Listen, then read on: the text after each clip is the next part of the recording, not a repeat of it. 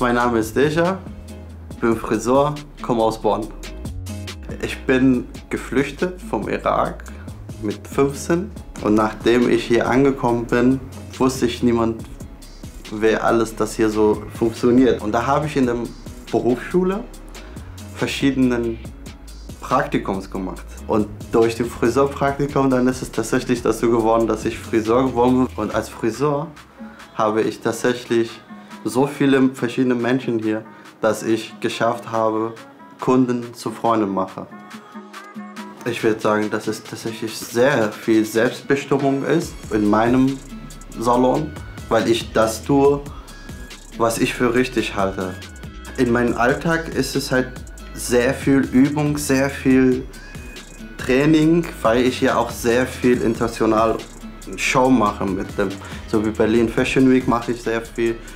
Die Weltmeisterschaft haben wir letztes Jahr gemacht. Ich habe drei Pokale mit nach Hause gebracht. Besteht tatsächlich sehr, sehr viel auf Übungs- und Abendübungen und Weiterbildung. Der Ausbildung der jungen Menschen ist mir tatsächlich sehr wichtig. Das ist die Zukunft, die wir Friseur und alle Handwerker wirklich brauchen. Also ich habe immer Azubi hier und ich lege sehr viel Wert darauf, ein Ausbildungsbetrieb zu sein, weil so habe ich auch gelernt. Und die Ausbildung hat mir das ermöglicht, wo ich jetzt bin.